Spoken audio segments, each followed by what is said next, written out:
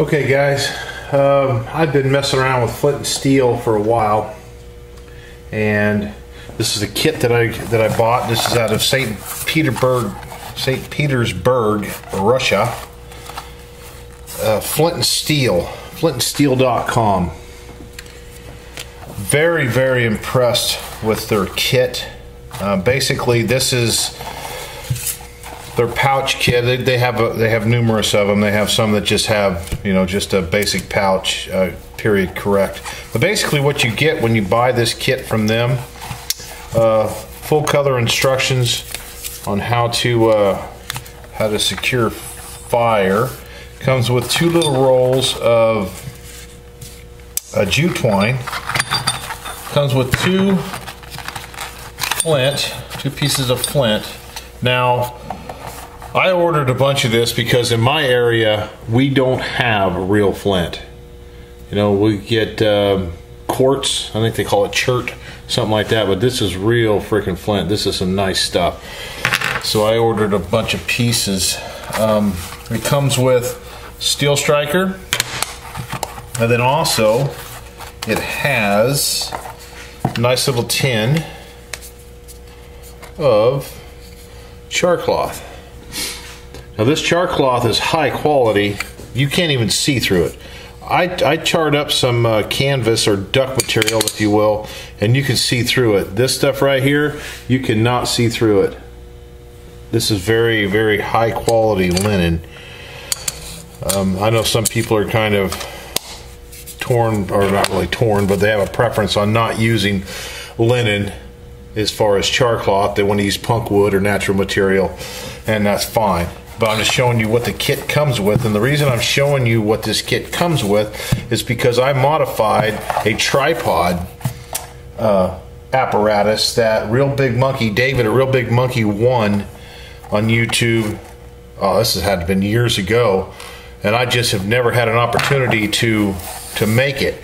So now that I have uh, made made one uh, basically what I did is it, it, his was around and his was made out of a piece of uh, aluminum. Basically, what this does is this this creates a tripod, and then he had a hole right here, so you can have a stick with notches on it that would set in this hole, so you can raise and lower, which I will show you at the end of this video I have not had time to get out in, into the mountains. That's where I wanted to do the video, but unfortunately, I haven't had time.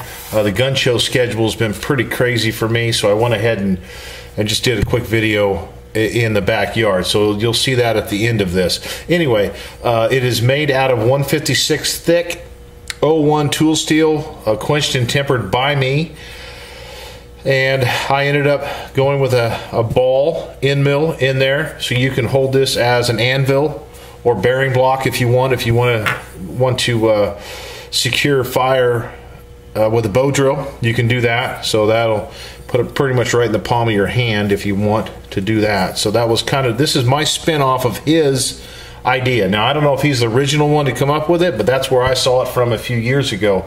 I did contact him. Uh, you know, I told him I want to send him one and, and get his input on it he basically, you know, said, "Hey, yeah, great, do a video." So that's what I'm doing now, and then hopefully I can get one in his in his hands and maybe a couple other people's, so they can see uh, what's going on. They're obviously more skilled in doing that than me. I'm brand new to flint and steel, but uh,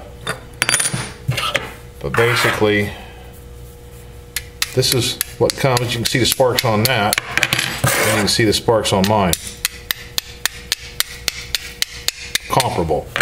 So basically, I'm assuming this one is laser cut. You can tell. Uh, mine, I have a plasma. I thought about doing laser cutting, but I just haven't pulled the trigger yet just because it's added cost. So I'm going to keep that cost down.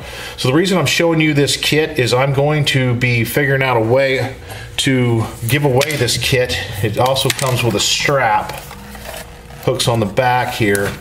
Um, I'm going to be giving this kit away as you see it with my uh, my tripod and then also their fire steel, two pieces of, uh, of flint strap, carry case, char cloth, instructions, and some jute twine. I don't know exactly how or when I'm going to be giving this away, but I'm going to at some point. So what we're going to focus on is this. So just thought I'd give you guys um, a view of this. I'm going to have these on my website, pricedesignandengineering.com. If you want to go there uh, and pick one up. Anyway, thanks for watching, guys.